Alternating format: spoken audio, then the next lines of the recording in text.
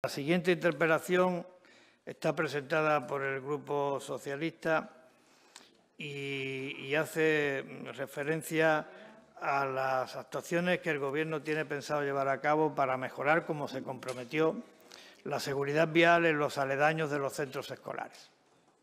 Eh, tiene la palabra la señora Sumaya. Gracias, presidente. Buenos días a todas y a todos.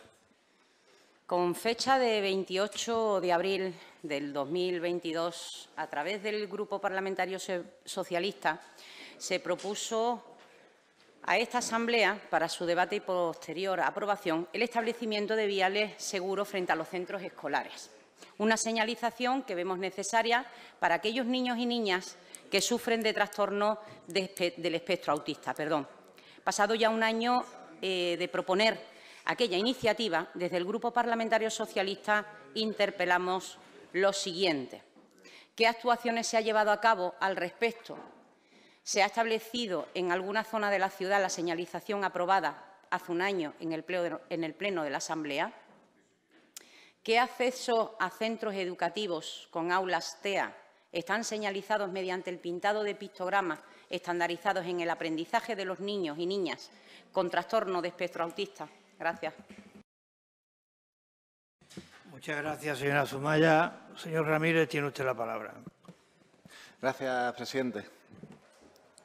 A ver, efectivamente este es un, proyecto, un proyecto que fue presentado en su momento a través de la Mesa de Trabajo para la Accesibilidad Cognitiva, que es un grupo de profesores del, del Centro de San Antonio, que consistía en estudiar la posibilidad de poder, a través de señalización vertical y horizontal, en diferentes pasos de peatones de la ciudad poder poner este tipo de, señalística, que son a través de pictogramas, a través de un sistema universal, que es el conocido como ARASAC.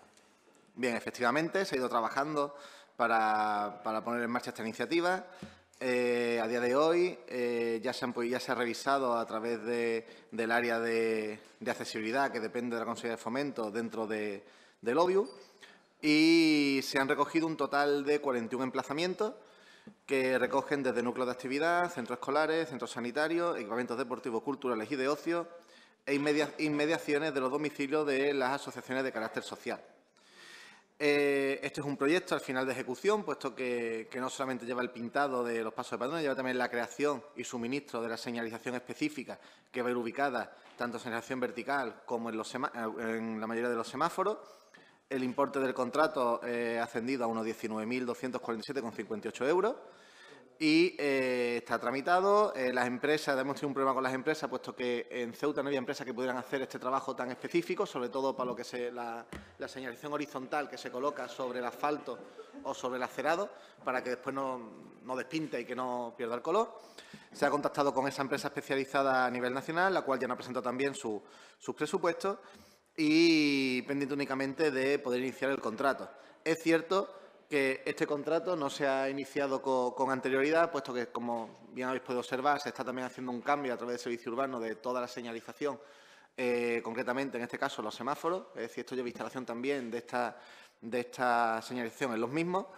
Pero vamos, eh, la previsión, tal y como va la ejecución de los dos contratos, es que en las próximas semanas se puedan ya ver la, la instalación de esta, de esta iniciativa que, como repito, una iniciativa que, desde la Mesa por la Accesibilidad Cognitiva pues, se presentó hace ya bastante tiempo y que al principio tuvo algunos problemas, sobre todo también con tráfico, sobre cómo colocar esta instalación, pero una vez solventado los mismos, ya tenido el informe técnico, realizado el contrato y el presupuesto y teniendo la empresa la cual puede realizar este servicio, se espera que en las próximas semanas pues, esto ya sea una realidad y pueda estar instalado en los diferentes puntos que, que he indicado, que ha salido un total después de los informes técnicos hechos en cada uno de ellos, de 41 emplazamientos.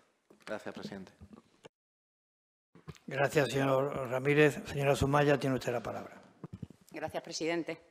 Eh, señor Ramírez, yo voy a hacer de este, de este tema, eh, además de ser una interpelación del Grupo Parlamentario Socialista, yo voy a hacer de este tema algo personal.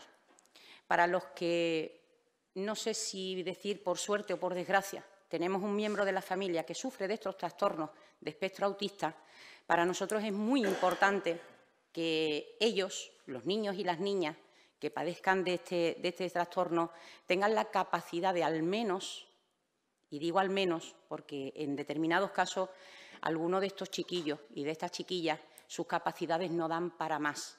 Digo que hago de esto un, tema, algo personal, porque yo en mi, casa sí tengo a una persona muy cercana a mí que padece de este trastorno, una persona con casi 22 años y que cuya mentalidad no es capaz de retener ni una sola sílaba, ni una sola vocal, pero sí es capaz de, memorizar algunas señales, sobre todo porque le insistimos mucho en, que tiene que memorizarlas, tiene que aprenderlas para evitar poner, cuando salga a la calle, su vida en peligro.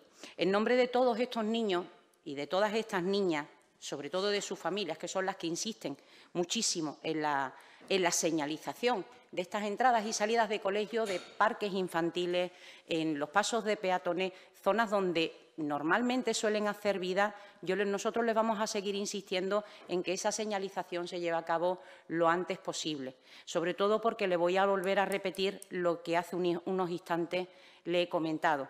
Personas que eh, tienen una determinada edad, que aparentemente son adultos, pero no son capaces de memorizar eh, ciertas normas de seguridad a la hora de salir a la calle, pero sí son capaces de memorizar eh, esas plantillas que les indican por dónde tienen que pasar, por dónde no tienen que pasar, qué es lo que tienen que hacer y qué es lo que no deben hacer en determinados puntos de la ciudad. Gracias. Muchas gracias, señora Sumaya. Eh, señor Ramírez, tiene usted la palabra. Sí, gracias, presidente.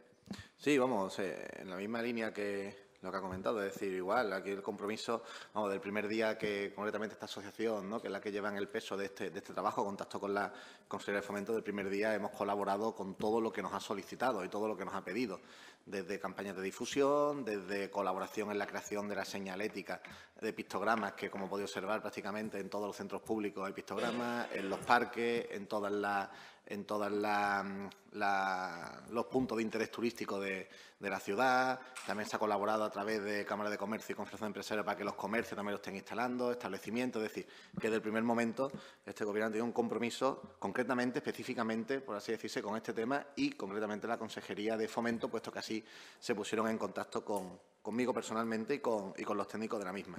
Este es cierto que este era un proyecto un poquito más más ambicioso, es decir, el, y como comentamos, una serie de programas, puesto que no, yo, creo que seremos la, yo podría decir que seremos la, primera ciudad que prácticamente eh, casi todos los puntos donde se puedan instalar esta, esta, señalización específica van a estar. Hay ejemplos por otras ciudades, que vamos a algunos pueblos concretamente, en algunas zonas concretas, pero yo creo que con 41 puntos en los cuales se van a señalizar, pues ya están aprobados y revisados por la parte técnica, eh, yo creo que vamos a ser el, único territorio eh, de España que, contará con, toda esta instalación y de manera casi prácticamente en todos los puntos que sean necesarios.